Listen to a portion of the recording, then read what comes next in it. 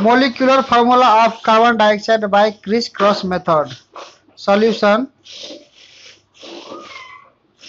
carbon dioxide is equal to carbon plus oxygen symbol for carbon is c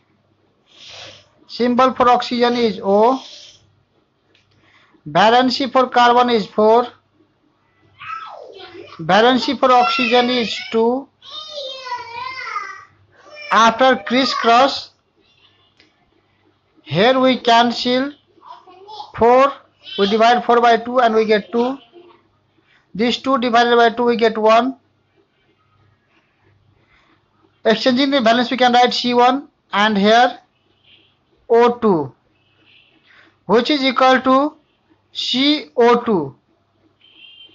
we don't write here C1 in place of C1 we write C. So CO2 is the